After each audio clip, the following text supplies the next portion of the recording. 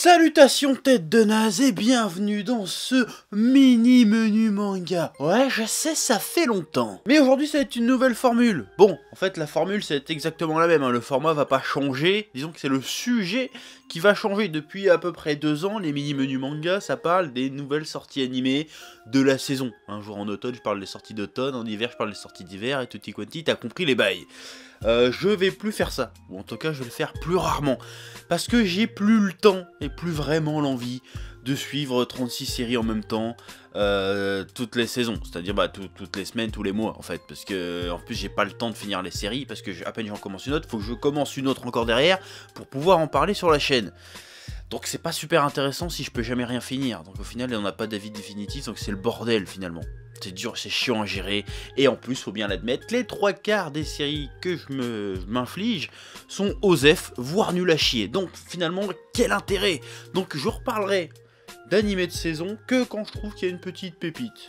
Voilà, euh, qui m'intéresse, que je regarde et qu'effectivement c'est intéressant, j'en parlerai. Voilà, donc maintenant, à partir de maintenant, les mini-menus manga vont vraiment être des mini-menus manga. C'est-à-dire que je vais parler de manga, peut-être même d'animés, hein, de séries déjà terminées, mais euh, ça sera des, menus manga un peu plus condensés. C'est ça que ça va être maintenant.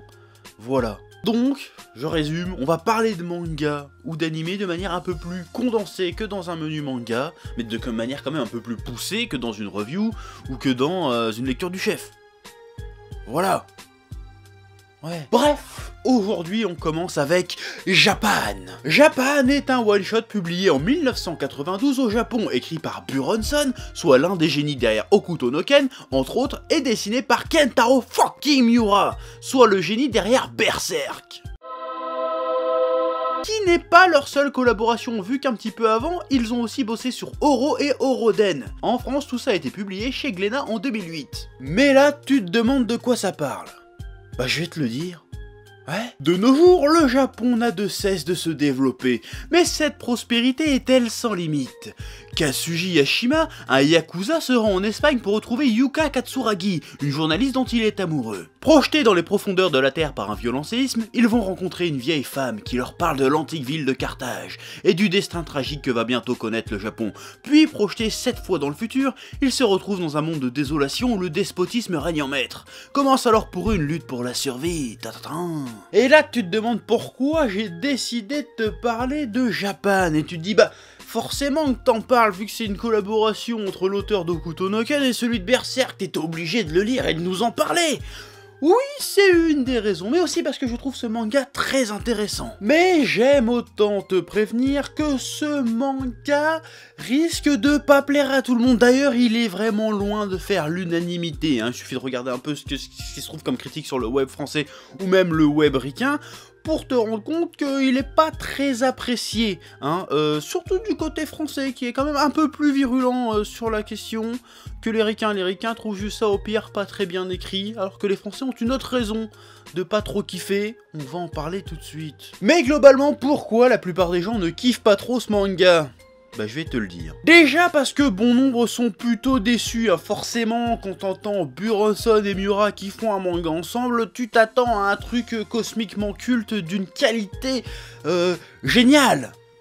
Eh ben non, Japan n'est pas un pur chef-d'œuvre, et je pense que ce manga restera anecdotique dans la carrière des deux auteurs. Déjà parce qu'il s'agit encore d'un manga avec du voyage dans le temps, ce qui était déjà le cas dans leurs précédentes collaborations, Holo et Oroden. Et parce que comme Holo et Oroden, à première vue ce sont des histoires avec des penchants nationalistes très prononcés. Holo glorifiant un peu le passé du Japon et Japan parlant d'un futur possible. Et bien évidemment en France on n'a jamais vraiment aimé tout ce qui était patriotisme ou nationalisme. hein.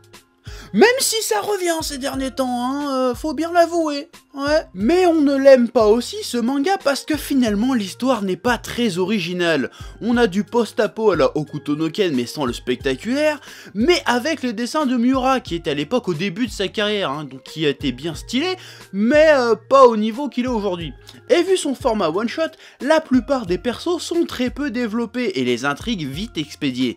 Et faut bien avouer que oui, c'est vrai, même niveau dialogue, c'est pas franchement exceptionnel. Concrètement, Japan, c'est pas terrible comme ça, hein, j'avoue, c'est pas terrible, mais je trouve quand même que c'est un manga très intéressant. Pour moi, Japan a plus vocation d'être une fable. Et l'important dans une fable, c'est la leçon, le message, la morale qu'on en tire. Alors ici, le message semble nous être servi de manière un poil bourrine, un poil direct. Ça semble tellement direct que ça paraît même un peu niais, naïf, empreint d'une certaine candeur. Si le Japon continue d'être aussi renfermé sur lui-même et égoïste envers le monde et l'environnement, il va participer à la destruction de la planète, et le monde ne lui pardonnera pas. Un message à la fois social et écolo, comme tous les récits post-apo en mode nucléaire cataclysmique. Et dans son histoire, les Japonais sont les coupables, les victimes et aussi les héros. Les rescapés japonais servent d'esclaves à des néo-européens, à rien forcément sinon c'est pas drôle, et les héros sont des yakuza à l'ancienne qui prônent l'esprit chevaleresque, l'honneur, le courage et la fierté japonais, qui sont accompagnés de lycéens japonais peureux, faibles et égoïstes, ce qui montre une différence entre deux générations de japonais, la nouvelle génération étant faiblarde et peureuse, et l'ancienne courageuse, honorable et tout ce que tu veux.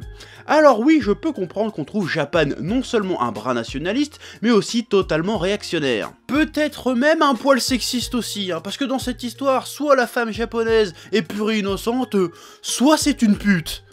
Ouais. Donc oui, c'est sûr que vu comme ça, c'est un petit peu brut de pomme, hein. c'est un peu chaud, oh là là, ça pique. Aïe Je ne sais pas pourquoi j'ai fait cette voix-là. Euh... Voilà. Mais est-ce vraiment un manga dont le message est apporté purement nationaliste? C'est vrai que si on prend l'ensemble des collaborations Miura-Buronson, Oro, Oroden et Japan, ce sont des œuvres qui sont étroitement liées dans leurs composantes et leurs thématiques. Buronson, le scénariste, y dresse pour moi un bilan de ce qui selon lui fait la grandeur et les défauts de son pays, le Japon. Olo évoque un passé glorieux en réécrivant l'histoire et faisant de Gengis Khan un japonais. Et en dystopisant le futur avec Japan, il leur montre ce qui arrivera s'il continue dans la mauvaise voie. Et cette voie serait le renfermement sur soi, l'égoïsme, euh, ne pas écouter les problèmes des autres, notamment de ses voisins d'Asie, euh, et la surindustrialisation qui font tant de mal à la planète. Voilà. Bon, là, si t'as bien écouté, tu te dis qu'il y a peut-être un truc qui merde, parce que comment être purement nationaliste et en même temps reprocher à ton pays de s'enfermer sur lui-même et de pas se prendre assez en considération les souffrances des pays voisins? C'est un petit peu paradoxal là quand même. Ouais. Pour moi, ce n'est pas parce que Buronson choisit d'écrire une histoire sur son pays pour son pays que ce message ne pourrait pas être universel. C'est comme si tu disais que Les Misérables c'était nationaliste parce que ça parle de la France. Non, le message reste universel, quelle que soit ta nationalité. Ben là, pour moi, c'est pareil. Surtout que ça date de 1992, et que près de 25 ans plus tard, je pense que ça peut s'appliquer à n'importe quel pays occidental, la morale de ce manga. Mais Buronson, sur ce coup-là, c'est clairement pas Victor Hugo, ce qui soulève une question. Dans une œuvre, est-ce que le message est plus important que la forme? Et ici, quand je parle de la forme, je parle pas des dessins, je parle de la manière de raconter une histoire. Est-ce qu'un bon message, une bonne réflexion servie par une histoire bancale, bourrine, excessive, naïve, reste quand même un bon message. Est-ce qu'un bon message suffit à faire une bonne histoire? Une histoire bien racontée mais sans sous-texte, sans véritable propos, sans message, paraîtra toujours creuse et sans intérêt, alors que de l'autre côté, un bon message mal servi aura beaucoup plus de chances d'être mal compris.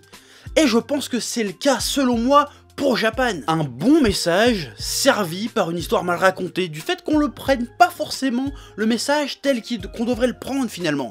Après, c'est peut-être dû au format one-shot, aux contraintes euh, de, publication, j'en sais rien, mais les faits sont là, l'histoire est pas terrible, mais le message fait réfléchir quand même. Peut-être que dans les bonnes œuvres, les grandes œuvres, tout est une question d'équilibre entre la forme et le fond, que le fond serve la forme et que la forme serve le fond. Il faut qu'il y ait cette espèce d'osmose, d'alchimie qui rend certaines œuvres inoubliables. Et bien souvent sur cette chaîne, je te parle d'œuvres dans lesquelles cette alchimie a lieu. Mais des fois, pour bien comprendre quelque chose, il faut aussi montrer un exemple où ça un petit peu.